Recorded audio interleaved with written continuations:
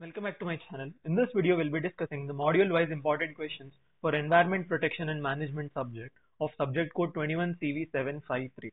So we know that uh, EPM is an open elective subject and uh, it's pretty easy compared to the other open elective subjects.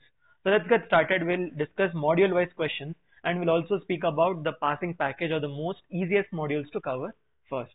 So all these questions have been curated by comparing the previous year papers and the internal papers also. So do check this out. It will be available in the G drive. So let's get started. We'll discuss one by one questions. So the first question is about the unique characteristics of environmental problems and uh, with examples. So here it could be asked for 10 marks. We have to define all the problems like population growth, waste production, climate change. There are nearly 10 to 15 uh, problems are there. So just explain all those. Okay.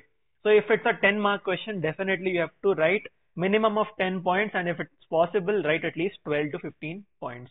Next, moving on, we have environment management and uh, how national development affects the environment parameters. So environment management, we have policy, planning, implementation. There are seven points under this and how national development affects the environment parameters. Again, uh, a simple question, a logical question, you can answer it very easily, right?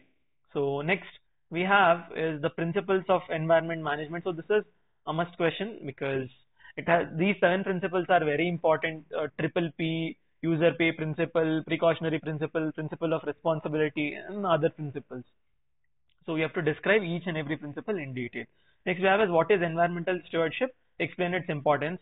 So what is environmental stewardship and uh, uh, what are the types of uh, environmental stewardship? What are the objectives of it and uh, all those things you have to define it here okay? Next uh, explain the corporate responsibilities for environmental protection. What is the purpose of the CREP and how does it work? In notes it is detailedly given so just check that out. Then national policies for abatement of pollution and list major activities initiated under pollution abatement schemes. So this question is a must because out of seven major policies, any two or three could be asked together, or they can ask uh, us only. We can write any two or three policies like Wildlife Protection, Water Act, Air Pollution Act, uh, National Water Policy, Environmental Policy 2006, NEP, and National Forest Policy 2007. All these are the major ones. Okay, so do check that out. Next, we have system approach to uh, corporate planning in terms of environmental management plan, EP uh. So there's a figure here. So draw that figure and explain all the points easy.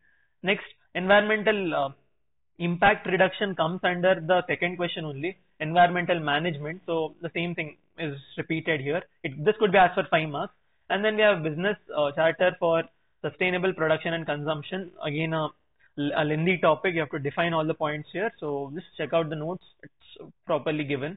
Next, so I would say that guys, first module is pretty limited. If you cover these uh, major questions, you'll be all done with the first module. It's all about principles and policies.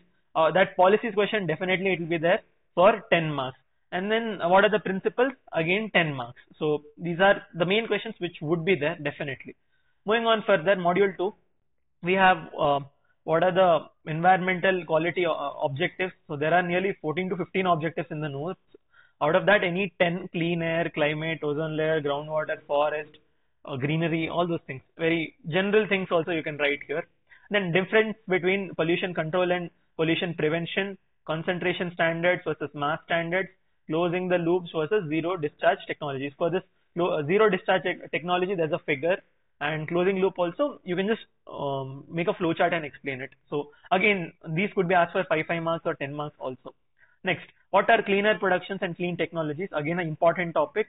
And what is its relevance to the environmental protection? Next we have is environmental protection evaluation or the objectives of environmental protection indicators. So again, a very important question about environmental protection indicators. Next we have development of uh, minimum national standards for industries. Then uh, examine the economic and educational barriers of uh, to pollution prevention. Again, a simple question only. So module 2 is all about the quality aspect. So if uh, from the quality aspect, this objectives would be there and cleaner technologies. So clean production and technologies one point. Then we have this uh, performance indicators and performance evaluation. Yeah. So these are the main highlights which would come from module 2. Next coming to module 3. So module 3 has nearly five topics which are very main And from those five topics only, there are subtopics which are generated. For example, the differences between the ISO 14001 2015 and EMAS, very important. Out of these three, any one would be definitely asked. Next, we have the components, benefits, barriers of implementing EMS as per ISO 14001. So again, a very important topic. Objectives and targets of environmental management, again, a basic one. Environmental policy and discuss the process of, what is the process of developing the environmental policy? Again, a very important question. Then we have the modalities of initial environment review. So initial environment review is again a very important topic. You can just make a flow chart and explain the entire thing here. There are nearly seven to eight steps. Draw the flow chart, explain each and every step with five, five points. You'll be done with it. Next concept of continual uh, uh, improvement and pollution prevention with EMS. Again, this comes under EMS topic only. Then environmental aspect and impact analysis. What is the uh, importance of it? Then next we have is the purpose and benefits of environmental management program. Again, it is somewhat similar to the fourth question and third question only. The same thing you have to repeat here. So guys, uh, I would say that this subject, even if you don't remember anything also, you can just write anything related to environment, how to save environment, what are the policies about environment, how to protect it, how to manage it.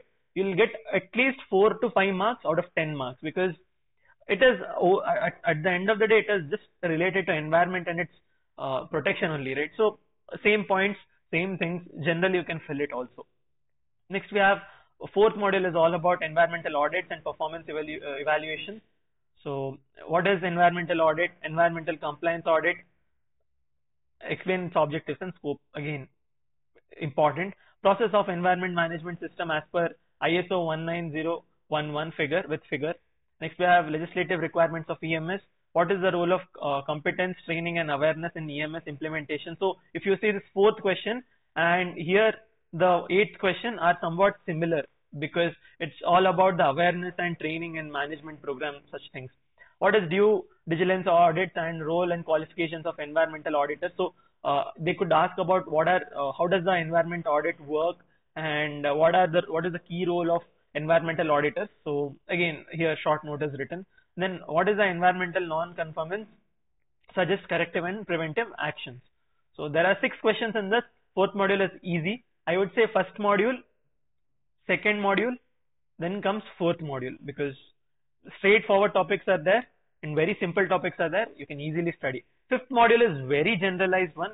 Even if you know something about textile, sugar, pulp, paper, tannery, electroplating, textile industries, you can fill pages here. So they can ask about pollution prevention opportunities in all these industries. So just check out the notes. All these points have been given in detail. So just uh, study that and remember that it will be helpful.